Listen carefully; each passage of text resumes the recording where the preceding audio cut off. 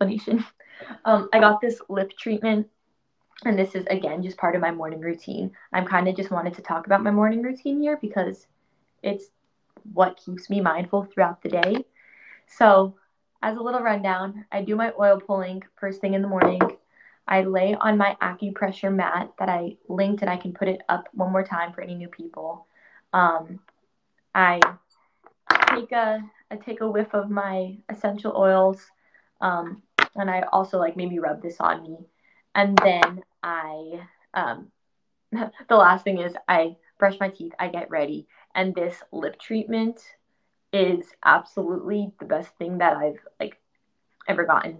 I only use non-toxic uh, skincare, so I'll be sharing a lot of non-toxic products on here, and um, yeah. Anyways, like this doesn't require an explanation other than I really love it and it gives me moisture for actually hours and it feels so good and it's clean.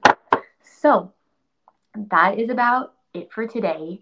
Um, why don't we just end it kind of how we started and just for those who weren't on here right when we started, um, let's just take three deep breaths together in through the nose, fill up your whole body Fill up your lungs, feel your ribs expand.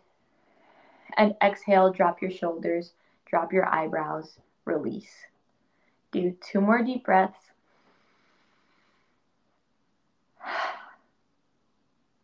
Feel your feet on the ground, your butt on the chair.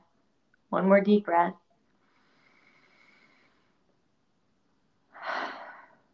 You're here now. Um, like I said, the whole purpose of this was to explain my morning routine. If you don't have time in the morning, make 10 minutes for yourself, morning, afternoon, night. But you'll be surprised once you start showing up for yourself what happens. Um, okay, thank you guys so much. It was so fun. It actually flew by.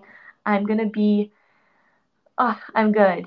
Okay, if you guys like the meditations, then maybe I'll actually plan some or write some or research some and we can do a one minute meditation before and after um, every time. So I'd love to incorporate that because I think, right, everyone's just going, going, going. And to actually take a minute to breathe and feel your feet on the ground in the chair and just think, like, I'm here now. I think um, a lot of people need that. So thank you guys so much for being on here. Um, I'm really excited. I'm gonna like just make my plan uh, for the next few months. I'm on here every Monday at four o'clock. Have the best day, you guys. Thank you. Bye.